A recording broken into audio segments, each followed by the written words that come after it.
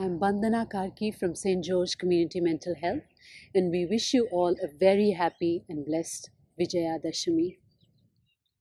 This year, please remember to keep your family and friends gatherings small. We need to follow New South Wales government regulations to protect our families and loved ones.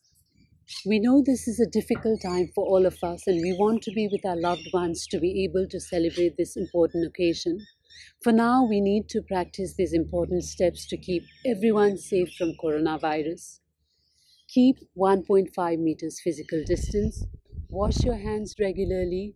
Do not share food or utensils.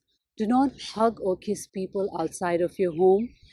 Sneeze or cough in your elbow.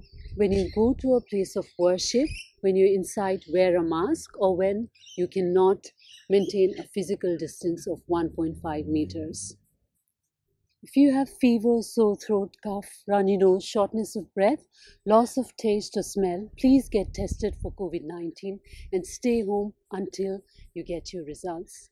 Staying away from others when you're unwell is the greatest act of love. Find a COVID 19 clinic near you by visiting www.nsw.gov.au forward slash COVID 19.